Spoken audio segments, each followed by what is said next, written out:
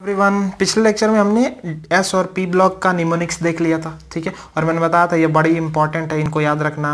अभी जस्ट मैं बताऊँगा क्यों इंपॉर्टेंट है ओके एस पी हो गया। इस लेक्चर में डी और एफ़ का देख लेते हैं भैया मेरे, और डी और एफ़ का देख लें कि डी और एफ़ ब्लॉक के एलिमेंट को हम कैसे याद करेंगे। तो D block okay D block का एलिमेंट याद करने का तरीका बता रहा हूँ आपको। कैसे होगा? देखिए स्कैंडियम स्कूटर यामाहा ला एक, ठीक है? स्कूटर यामाहा ला एक, स्कैंडियम, इट्रियम, लेंथनम, एक्टेनम, ठीक है? स्कूटर यामाहा ला एक, ओके? स्कैंडियम के बाद आप जा, आप कहा जाता है? टाइटेनियम। टाइटेनियम का क्या होता है? टी ज़रा हाफ़, ठीक है? कोई हस्बैंड अपनी वाइफ से बोल, वाइफ से बोल रहा है, टी ज़रा हाफ़, टाइटेनियम, जरकोनियम हाफनियम टाइटेनियम के बाद आता है वेनेडियम, वो नवाब था, ठीक है?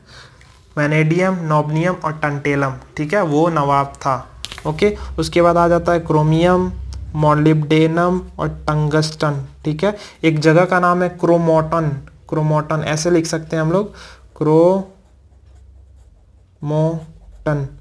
क्रोमोटन, ठीक है?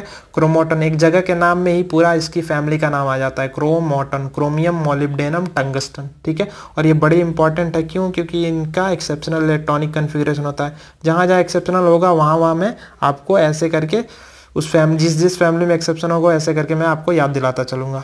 तो क्रोमियम मोलिब्डेनम टंगस्टन उसके बाद से आ जाइए। मन तक रे, ठीक है? देखिए मन तक रे मैग्नीशियम मैग्नीस ठीक है टेक्नीशियम टेक्नीस इसको बोलते हैं टेक्नीशियम ठीक है और इसको बोलते हैं रिहिनियम रोहिनियम ठीक है टेक्नीशियम रिहिनियम ठीक है मन तक रे ओके? अब उसके बाद से आ, आ जाइए क्या आता है? आयरन फैमिली आयरन फैमिली तो बड़ा आसान होता है जी फेरस ठीक है फेरस। अब जानते हैं iron plus two oxidation state में होता है, उसे क्या कहते हैं? फेरस कहते हैं। तो देखिए फेरस में ही उसकी पूरी फैमिली का नाम आ जाता है। आयरन ऑस्मियम रोहिनियम और ऑस्मियम ठीक है? इसको इसको रिहिनियम बोलते हैं, इसको रूहिनियम बोलते हैं। देखिए, ध्यान रखिएगा। फेरस में आयरन रूहिनियम और ऑस्मियम और ऑस्मियम जो होता है, सबसे हैवीएस्ट मेटल होता है, सबसे heaviest metal okay? Heaviest metal होता है ये। उसके बाद आयरन के बाद आपका क्या आ जाता है? कोबार आ जाता है। को रहे इंतज़ार। ठीक है ये तीन आर वाले बड़े कंफ्यूज करते हैं। इसको रिहिनियम कहते हैं इसको रोहिनियम कहते हैं इसको रोहडियम कहते हैं। रोहडियम एच आ रहा है हल्का हल्का प्रोनाउंसिएशन देखिए। को रहे इंतज़ार कोबाल्ट रो, रोहडियम और इरिडियम ठीक है को रहे इंतज़ार। ठीक उसके बाद से निकल पड़े पटना। निकल पड़े पटना या निकल पड़े पटाने भी बोल सकते हो। निकल पैलेडियम प्लेटिनम ओके उसके बाद से कौन आगे आया? कॉपर, सिल्वर, गोल्ड, कौन आगे आया?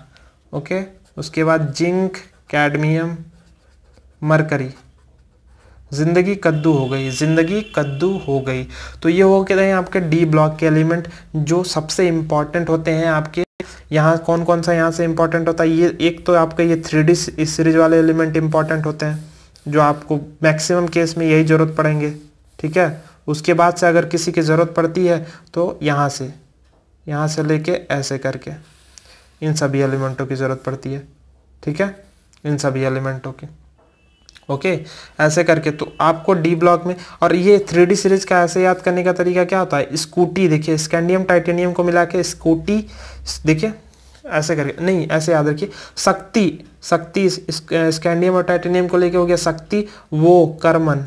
ठीक है? शक्ति, वो कर्मन मतलब मन में ऐसी शक्ति करो। शक्ति वो कर्मन फे को निकुजन शक्ति शक्ति वो कर्मन फे को निकुजन शक्ति वो कर्मन फे को निकुजन ये थ्री डी सीरीज़ का याद करने का तरीका होता है। शक्ति व कर्मन फे को निकुजन और बाकी ऐसे ऐसे करके तो मैंने बता ही दिया है। समझ में आ रहा है?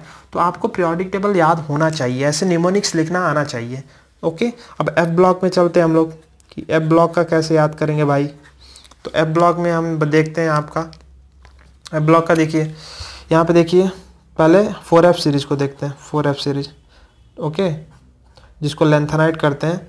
तो सीरियम देखिए, सीने पर नदिया, प्रेम की समाई, ठीक है? सीने पर नदिया, प्रेम की यहाँ होगा समाई, ठीक है? सीने पर नदिया, प्रेम की समाई। सीरियम प्रो प्रोजडिमियम कहते हैं इसको। इसको सेरियम कहते हैं, इसको प्रेसडिमियम कहते हैं, इसको नियोडनियम कहते हैं, इसको प्रोमिथियम कहते हैं, इसको समेरियम कहते हैं, ठीक? तो सीने पर नदियाँ, प्रेम की समाई, उसके बाद से आ जाओ। यूँ गदगद यूँ गदगद, तब दिल हुआ, ठीक है? यूँ गदगद, तब दिल हुआ, ठीक है? यूरोपियम गैडोलिनियम टर्बियम डिस्प्रोसियम और होलोनियम यूँ गदगद, तब दिल हुआ और और तुम्हारा यार, वाई बी, लुटेरा। ठीक है? और तुम्हारा यार, लुटेरा। इसको बोलते हैं अरबियम, इसको बोलते हैं थुलियम, इसको बोलते हैं इटरबियम और इसको बोलते हैं लुटियम। ठीक है? तो सीने पर नदिया प्रेम की समाई, यूँ गदगद तब्दील हुआ और तुम्हारा यार, लुटेरा। ठीक? तो ये four D four F series का हो गया। फाइव एफ़ सीरीज़ का कैसे याद कर सकते हैं? फाइव एफ़ सीरीज़ में आपका ऐसे हो जाता है कि थोड़े पहलवान, उनसे निपटेंगे। थोड़े पहलवान उनसे निपटेंगे। थोरियम, इसको बोलते हैं प्रोटेक्टिनियम, इसको बोलते हैं यूरोनियम, इसको बोलते हैं नेपचूनियम तो थोड़े पहलवान उनसे निपटेंगे। पुराने आम कम बिकेंगे। ठीक है? पुराने आम पुराने आम कम बिकेंगे। ओके? इसको बोलते हैं प्लूटोनियम, इसको बोलते हैं अमरीसियम, इसको बोलते हैं क्यूरियम, और इसको बोलते हैं बर्केलियम। तो पुराने आम कम बिकेंगे। ओके उसके बाद कैफ़े सी एफ़ कैफ़े में कैफ़े में एस एस फरमाए मैडोना मैडोना ठीक है? मैडोना लारा ठीक?